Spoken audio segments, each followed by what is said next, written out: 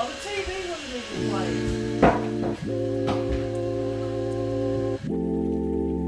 Making the water equal draw. Thing.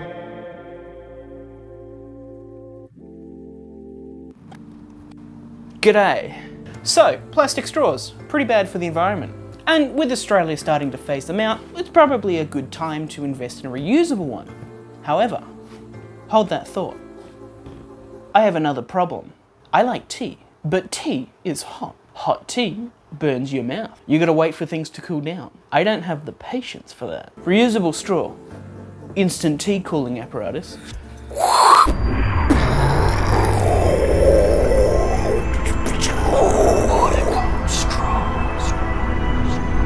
So this project was originally going to be a Peltier strapped to a straw, somehow taking the heat away, but I couldn't find my box of Peltiers anywhere. What the hell is this?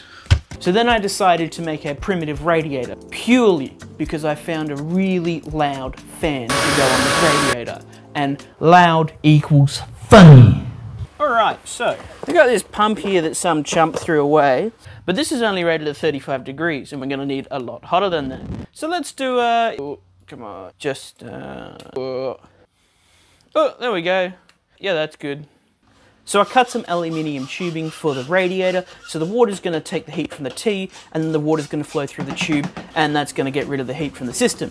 I then cut some flat bar, and the tubing was gonna go the tubing was going to go through it, increase the surface area, get rid of a bit more heat, and then I realised how hard it is to actually drill equally spaced holes without a drill press. Then 3D printed the inlet and outlet tanks of the radiator, and then realised that Bunnings gave me slightly different sized tubing.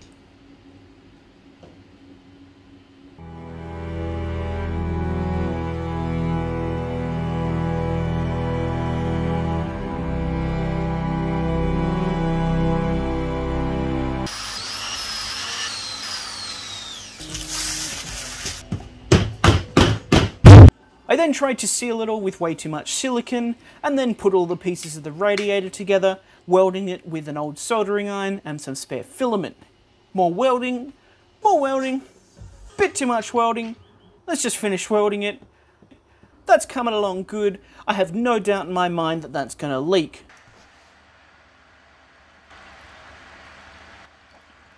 Uh-oh. What about this one then?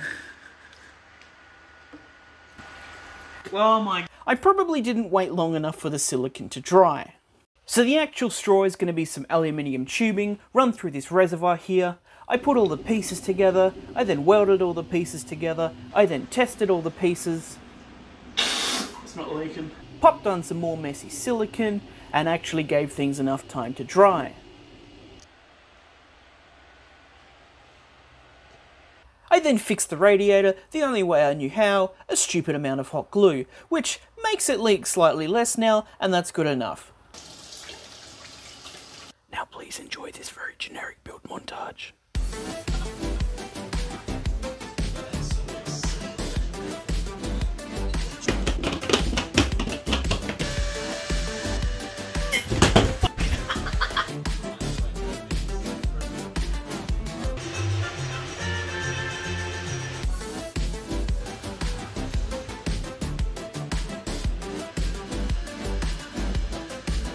About now that I realised I didn't really design this thing to be filled easily because there's a lot of electronics very close to water. So I gotta fill it, but I've also gotta drain the air out of the reservoir. So I do this, like that. Oh, oh.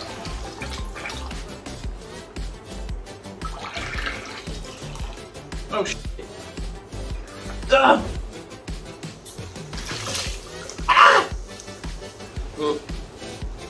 Now need to submerge it all and seal it somehow. Oh, sh. It?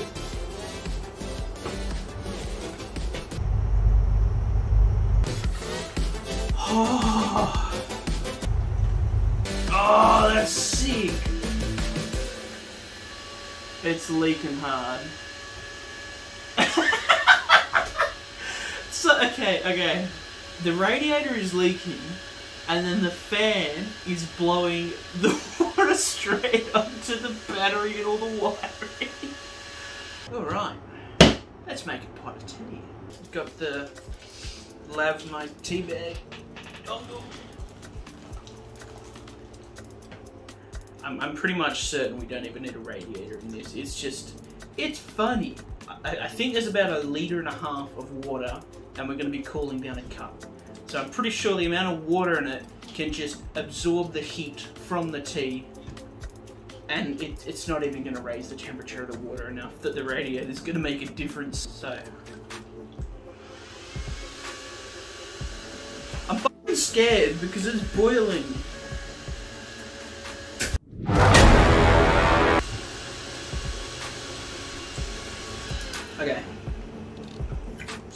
Was planning to make a mouthpiece because it is a bit awkward to kind of drink with a tube in your face, but what I think I'm going to do is I'm going to make the hole at the tip of the mouthpiece so small that you're going to have to drink it really slowly. And this is just going to give it enough time to disperse the heat in the reservoir.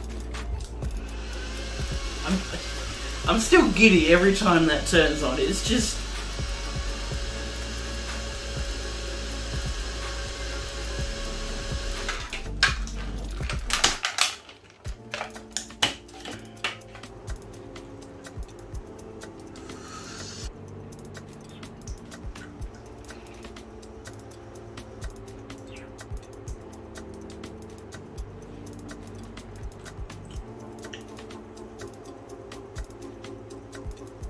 It's a difference. It's actually drinkable. Like this is, this was not drinkable. This was burn your tongue. But this is slightly below burn your tongue.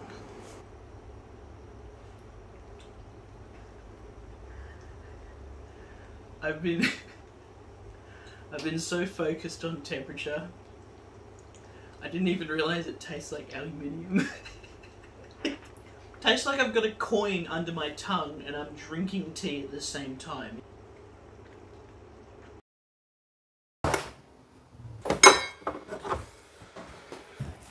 What are we doing, Fry? Recording. No, no, what are we doing? We are making a water cooled straw.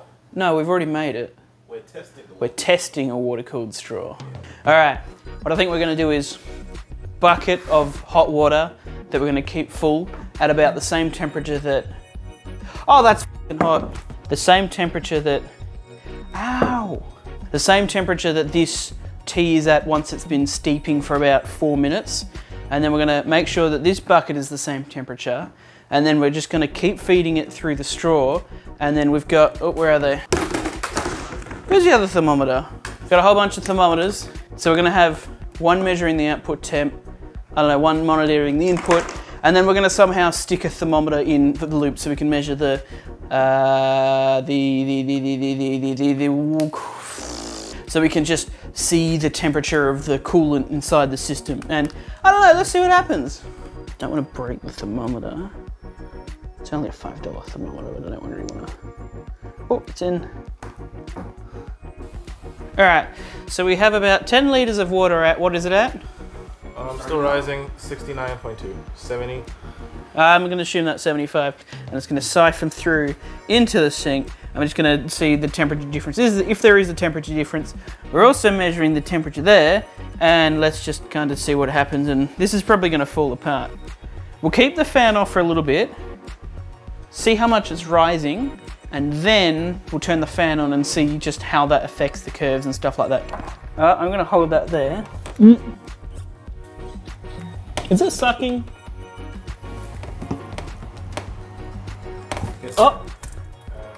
Oh! Oh! It's going! Alright. Hey, that's drinkable! Fan's going on. Ooh. Man, do you reckon we can visualize flow rate somehow?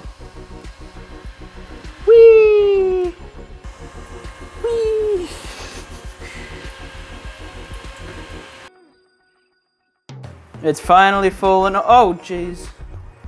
Oh, that's leaking now. Oh, it's leaking everywhere. All right, all right, all right. We're turning the fan back on. It's definitely doing its job. Ah,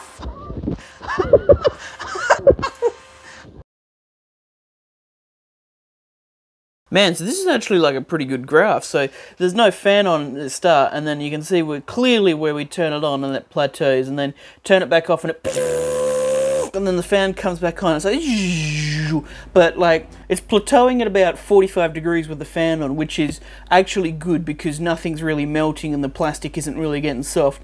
But about 55 to 60, where it would have plateaued at the without the fan, it melts. So the radiator actually like did something which was somewhat surprising. And then we measured a tip to tip difference of the straw, and it was about 15 degrees, which was that was that was pretty good. That's actually like something I'd use if it wasn't completely impractical. But I, I don't really make things that work, and this worked. So uh, yeah,